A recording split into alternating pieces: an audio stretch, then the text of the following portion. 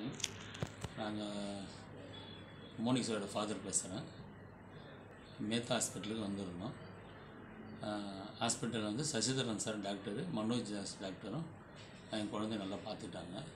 சிஸ்டருங்களும் நல்ல மெடிசன் கொடுத்து டைமுக்கு வந்து மெடிசன் கொடுத்து இது பண்ணி நல்லா பார்த்துட்டாங்க.